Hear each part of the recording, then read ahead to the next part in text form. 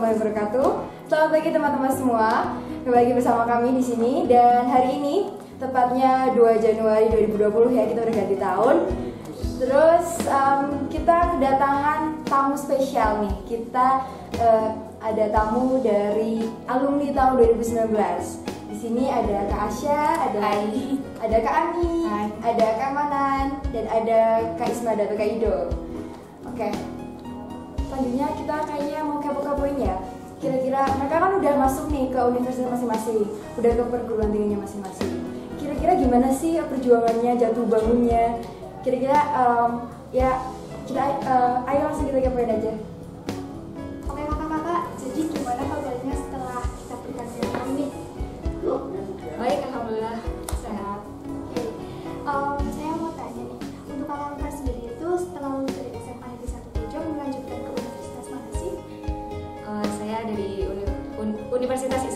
Islam Negeri Bali Songo, Fakultas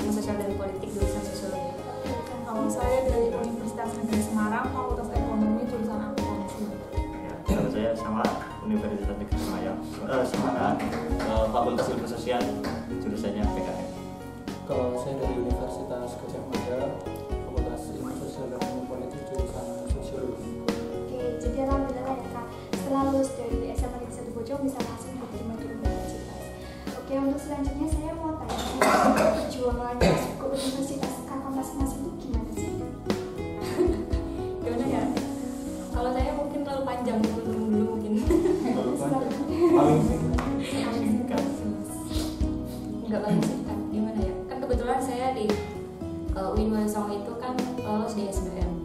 Tapi sebelum SBM juga saya mengikuti beberapa seleksi karena kebetulan dari awal itu udah niat masuknya di UIN atau Universitas Islam Negeri. Jadi uh, jalur yang untuk masuk ke UIN itu semua saya ikutin mulai dari SMARTPTKIN, UMPTKIN, bahkan SNMPTN pun saya milih keduanya itu UIN semua.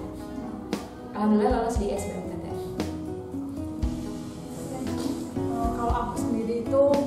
jadi aku persiapin dari kelas 10, kalau pas nanti kelas 12, jadi itu kalau mau lanjutin itu saya usahakan itu dari jalur undangan. Jadi kayak setelah UN itu nggak pusing-pusing lagi buat mikirin gimana setelah lulus itu mau lanjutin ke PTN.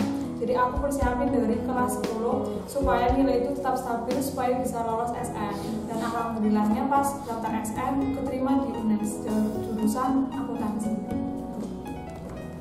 Saya panjang ya. Bisa tolong ceritain kak? Pertama gini, Panjang.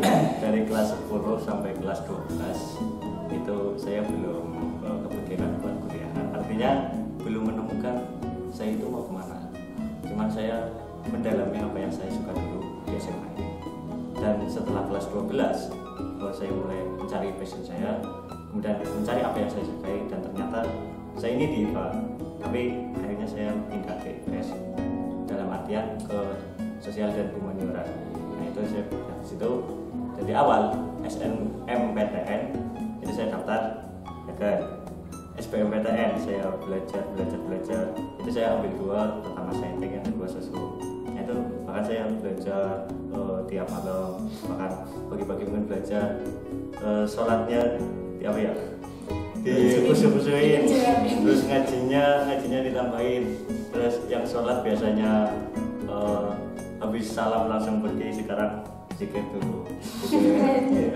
iya zikir terus kalau jumatan itu kan biasanya berangkatnya kalau udah mau ikomah ini berangkatnya di awalan pas lagi mau takbir terus pulangnya juga di akhir gitu. Terus eh, setiap malam juga gitu mengharapkan gitu. Tapi kan ya yang namanya belum rezeki akhirnya SBMPTN tes dua kali di Purwokerto. Apa ya? Tiga hari tiga hari nginep di rumah teman. Akhirnya eh, tes tes tes, tes SBMPTN gagal juga nah akhirnya saya lihat kondisi juga keluarga juga. Eh, masa iya saya mau eh, banyak menghabiskan dana untuk seleksi-seleksi mandiri yang lain. As- aslinya saya juga mau mencoba di UGM UI juga mau mencoba melihat oh di UNES ada jurusan yang saya yang saya minati ternyata itu. Dan akhirnya saya ikut seleksi mandiri saya download semua soal-soal seleksi mandiri saya saya belajarin semuanya. Dan alhamdulillah masuk. Walaupun sempat ada tekanan batin juga karena kan saya IPA lompat ke IPS juga. Kita juga. Kalau bahasa kasarnya itu murtad ya. ya tapi setelah saya pikir oh ya saya kan ada dua nih numerasi sama itu kayaknya saya lebih ke literasinya. Jadi bagaimana pemahaman dalam bacaan akhirnya saya coba turunin dan ternyata enak. Gitu Terus saya saya juga murtad ya. Sama Iya. terus saya SMA IPA terus eh, masuk kuota SNMPTN juga. Kan pilihannya dua kan? Nah saya dua-duanya itu ambil jurusan saintek waktu itu tuh biologi tapi gagal juga. Terus akhirnya bingung kan karena eh, saya itu nggak punya rencana kalau SNMPTN gagal itu mau ngapain ya. Karena udah optimis lolos tapi ternyata enggak nah di situ udah mulai pusing ya ini mau ngapain akhirnya saya daftar UTBK sama kayak kemarin juga mix ya yang satu tesnya saya yang satu sosum nah, dan anehnya yang nilai sosum justru lebih gede Oh, iya, iya benar. Nilai saya mah bahkan lebih gede dari nilainya Kak Ase itu. Gimana? Jadi di sini jadi ini. Bukan aku. Padahal Kak Ase PS ya. Tiga tahun gimana? Ya sama ya, saya tiga tahun juga ngapain ya kok nilai sainteknya bisa jeblok gitu. Nah dari situ saya udah mikir kayaknya saya harus cari jurusan yang sosum. Siapa tahu ada yang cocok. Saya cari-cari ternyata ada yang cocok, ada yang cocok jurusan saya yang sekarang sosiologi. Tapi saya juga nggak mau nilai sainteknya terbang percuma gitu kan. Saya cari eh, apa namanya cari informasi lagi barangkali masih ada universitas yang membuka eh, apa namanya pendaftaran. Ternyata di UGM itu ada namanya itu prestasi PBUB ya penelusuran bibit unggul berprestasi itu pakainya nilai rapot plus nilai UTBK. Nah saya masukin nilai UTBK saintek saya itu di situ karena saya masih pengen kuliah di jurusan IPA. Tapi ternyata gagal juga. Jadi sebelum masuk apa UGM saya juga pertamanya ditolak UGM dulu, jadi nggak langsung masuk. Dan alhamdulillahnya yang sosum saya eh, apa namanya pilihan pertama itu di sos apa sosiologi UGM, pilihan keduanya di universitas lainnya. Jadi keterima. Itu pengumuman SBMPTN itu 10 hari setelah saya ditolak UGM.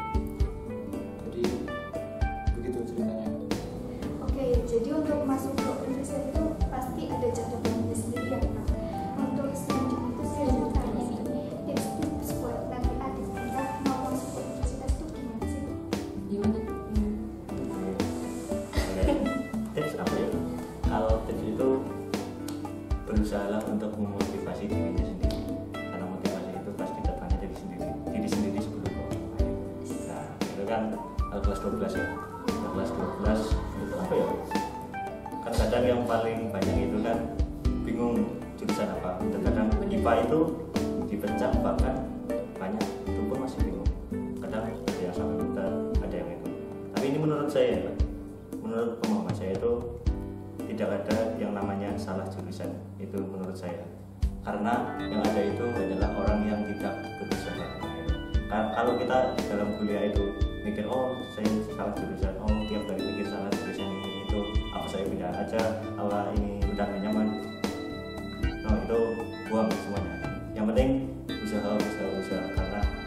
tidak tahu jalan seperti apa yang akan Allah berikan. Kepada kita lanjut Lanjut. Yang jawab SN SN gimana? Tipsnya. Tipsnya strategi ya. Apa ya? Kalian itu tentu apa ya? Jangan ngambil unit terlalu tinggi kalau nilai kalian itu kayak pas-pasan cuma Nggak sesuai. nggak sesuai. Pasti kalian itu pas-pasan. Pas-pasan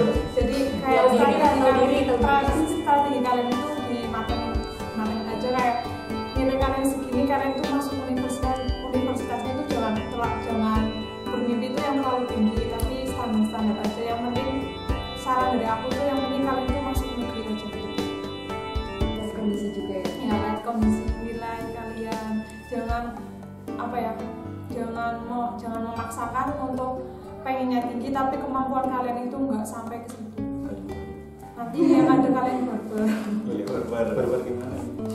Barbar itu nanti tunggu nilainya. pas di kali itu dia wis tiba Cantik. iya mungkin Bahasa dulu. Enggak, kebetulan, kebetulan kan kami dari jalur yang sama ya SBMPTN Tapi nanti SBMPTN mungkin sama Kaido Karena mau kasih apa ya? Sendiri Ya kan kayak jalur UIN sendiri kan beda ya Kayak sistemnya juga beda. Mungkin SBM nanti sama Kaido Untuk, karena saya juga ke Jawa UIN Untuk eh, UIN itu kan ada jalur sama kayak SNMPTN Tapi itu khusus untuk masuk di UIN atau IAIN itu ada namanya SPAN PTKIN itu sama kayak SNM menggunakan nilai raport dari semester 1 sampai semester 5 kalau di SNM itu ada dua univ di SPAN PTKIN ada dua atau tiga ya? Gitu lah intinya segitu dua. Sama itu juga sistemnya sama pakai eh, pakai ini pakai nilai raport. Kemudian ada juga UMPTKIN itu sama kayak SBMPTN tapi khusus untuk PTKIN atau perguruan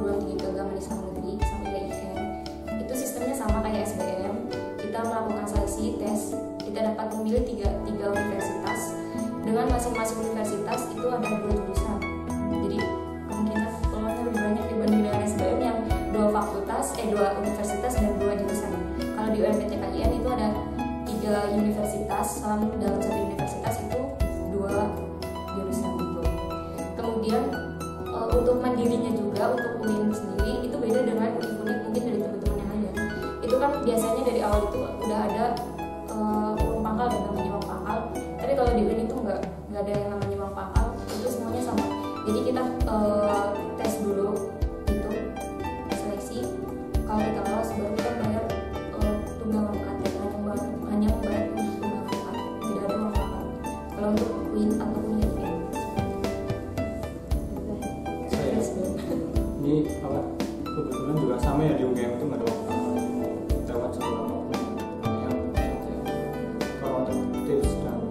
yang pertama apa, jangan lihat universitasnya dulu tapi cari jurusannya karena begini banyak kasus di UGM itu ya oke lah UGM tapi kayak salah bukan di passionnya gitu jadi pengen pindah. Jadi yang penting cari jurusannya dulu setelah nemu itu baru cari univnya univ mana yang menyediakan jurusan itu. Karena bahaya misal pengennya di jurusan ini terus pengennya di universitas ini tapi di universitas ini nggak menyediakan jurusan ini nggak nggak kuat. Jadi harus di ada di tim jurusan univ terus sama kemampuan juga ya nilai. Kalau dari SNMPTN ya kata kami tadi nilai rapor terus kalau dari UTBK ya berarti nilai UTBK kira-kira ya bisa masuk di univ mana itu. Terus ya, terus itu. Itu aja sih ya. Yang penting cari jurusannya dulu yang yang paling penting. Karena belajar dari apa angkatan kami itu kadang nemu jurusan yang cocok itu yang tahu selesai yang kedua udah lulus malah belum tahu mau mau Lanjut? Iya. bahkan mungkin pas kita udah kayak ngejalanin nih udah kita kan satu semester udah ngejalanin mungkin kayak ngerasa nggak gimana gitu Iya, pasti. kadang itu pasti muncul tapi gimana kita buat menyikapi itu biar biar tetap berjalan gitu Hmm, jadi untuk kelas 10 kelas 12 yang tinggal berapa lagi. bulan itu silahkan cari jurusan yang paling cocok apa. Ya, intinya ya kenali diri kalian sendiri. Ya iya. Itu ya. Terus jangan jangan takut murtad. Gak takut dia orang-orang murtad yang patut dicontoh ya. Dua orang. Ini ya yang penting Oke, jadi itulah ya kita habis ngobrol-ngobrol. Singkat apa panjang ini tadi? Ya cukup. Singkat Cukup ya? panjang. Ya, yang sudah sudah sudah. Itu mengenai pengalaman dari kakak alumni sampai mereka itu bisa meraih ataupun bisa sekolah di universitas yang mereka inginkan atau tadi yang dari murtad ya? Ya. Jadi lintas minat gitu. Jadi em, sebenarnya kesimpulannya adalah nggak ada yang namanya salah jurusan gitu ya. Semuanya itu berarti harus mengenali diri kita sendiri. Dan terutama untuk semuanya aja yang melihat ini jadi- jadi jangan terpaku pada universitasnya. lebih ke jurusan yang ingin kalian capai. Baru itu cari universitas yang tepat gitu ya. Dan mungkin pesan juga untuk semuanya bahwa eh, terus semangat belajarnya. Eh, tadi keamanan itu sampai ya ibadahnya ditingkatkan lagi ikhtiarnya itu loh Ikhtiarnya itu harus lahir batin. Iya ya. lahir batin. lahir batinnya lebih ditingkatkan lagi. Terus mungkin juga support orang-orang sekitar juga Iya. mendukung ya. Motivasi juga. Memotivasi diri sendiri itu penting. Oke? Eh, sepertinya itu aja ya dan semoga eh, konten kali ini tuh bermanfaat untuk kalian semua. Eh, saya kawan dari pamit undur diri. Dan saya Iman Trina Sulpa juga undur diri. Assalamualaikum warahmatullahi wabarakatuh